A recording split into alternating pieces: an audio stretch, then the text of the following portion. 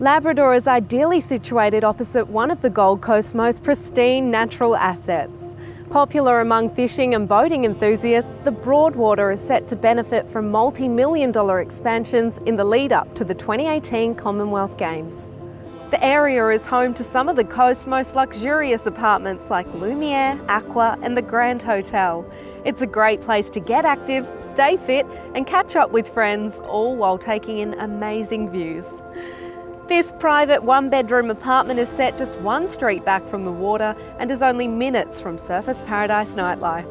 The sunny north facing apartment is set in a secure complex of 15 right next to the new Sapphire building. Relax from your own private balcony with natural tree views.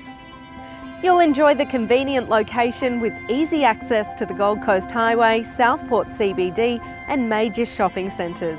The property is just minutes to the new hospital and Griffith University. There's so much development activity happening in Labrador at the moment and these quality improvements make this a fantastic investment opportunity.